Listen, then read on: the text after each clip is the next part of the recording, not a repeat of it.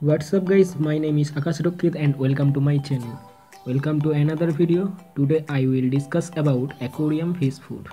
So please do watch my video till end. First one is Tayo Annie spirulina fish food. It is specially formulated for all varieties of freshwater fish. The formulation is designed to provide the proper nutrition required for healthy growth, body shape, coloration and sexual maturity. Second one is Optimum Fish Food.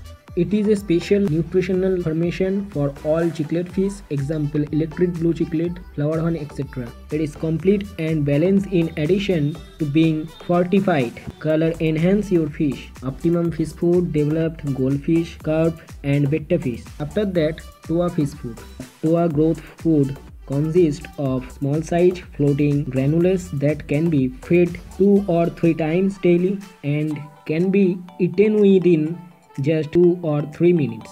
Then Tokyo fish food. Feed Tokyo 2 or 3 times daily according to temperature and it should be eaten up to within 5 to 10 minutes per each feeding. Last one is Tetra Tetrabits fish food. It is a complete food maintains color and shape of tropical fishes. Feed your fish 2 or 3 times a day as much as they can consume in a few minutes. Thanks for watching to my video and please subscribe to my channel and press the bell icon get all notifications and don't forget share thank you